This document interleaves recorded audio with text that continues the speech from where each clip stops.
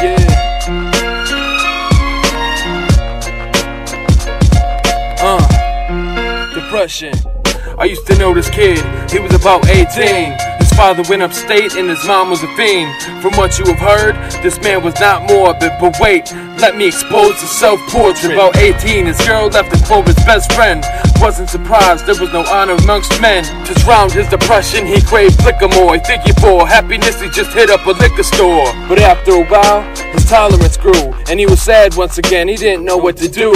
Didn't waste any time and moved up to coke. Just in case he ran out, he had a blunt in his coat. Walking home in the rain from a rave, he fell in the dirt. Found a rusty razor blade and thought was life worth. He looked up in the sky and started to cry.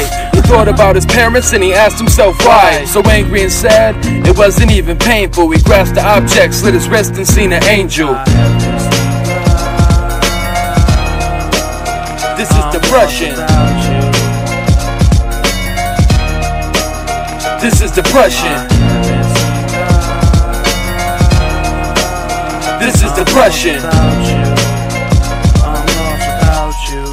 This is depression. Laying on a hospital bed, he awoke from his dream.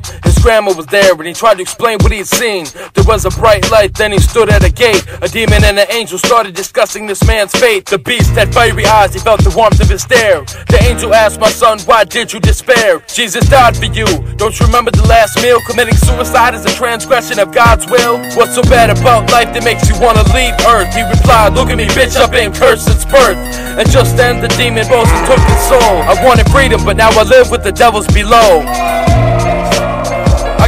Depression. This is depression. I got depression. This is depression. I got depression. This is depression. I got depression. This is depression. I haven't seen God. I'm lost without you.